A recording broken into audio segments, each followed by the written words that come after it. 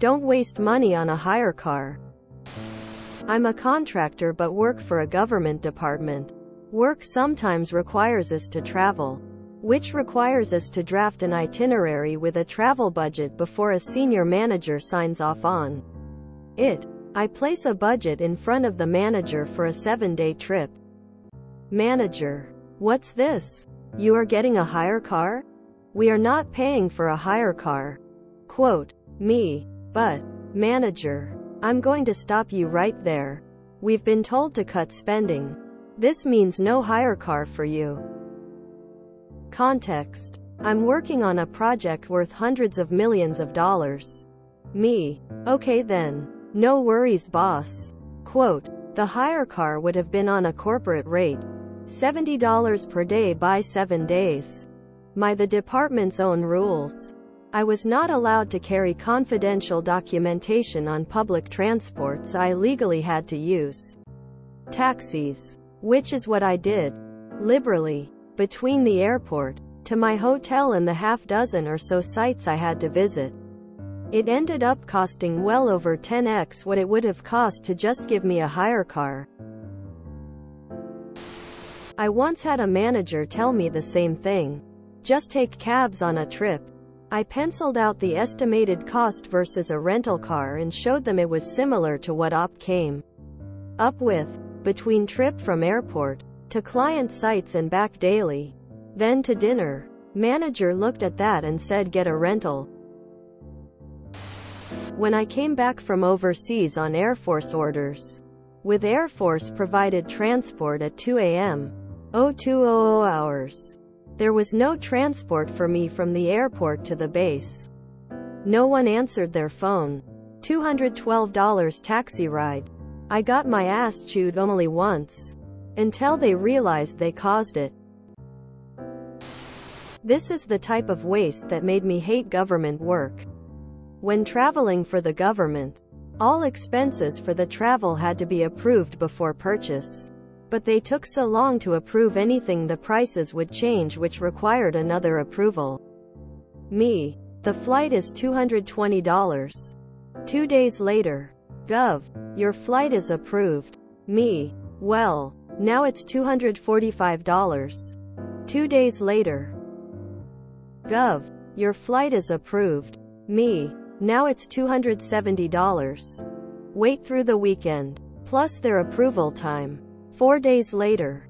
Gov. Your flight is approved. But try to find something cheaper. Me. I did last week. The flight is filling up so the prices go up. And now it's $330. Dot and if I'm lucky, I get the flight I want. But a few times I've had to pick a different flight that includes a massive layover because it's $40 cheaper. But still more expensive than the original flight I found. I have to know, what did your manager say when they was the paperwork? Edit. Saw not was. Lol. Hope you showed your boss the difference.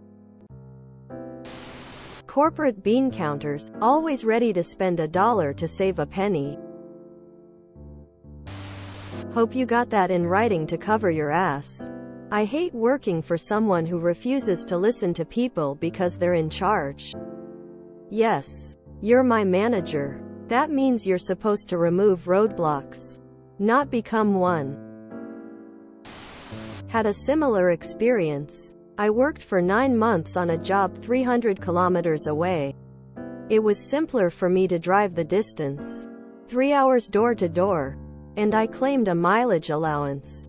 Finance rang as asked. I explained it actually took me less time than driving to the office getting a cab to the AP, waiting around for the flight, which was only a 40-minute flight, getting a cab to the job as well as cabs each day from the job to the hotel and back each day. This also had all the costs embedded. They figured it out and we agreed that they would pay me the equivalent.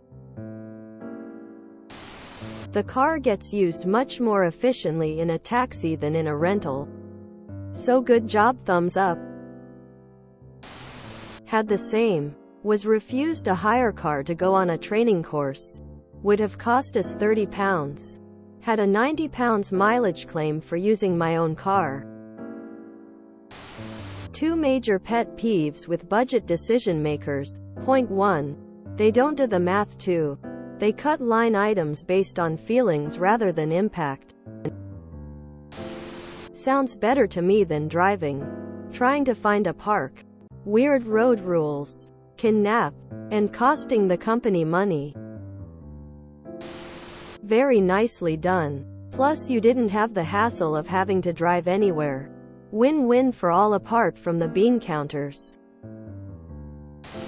So you spent $700 a day on taxis? No one ever thinks of the taxi costs. My last trip for a conference.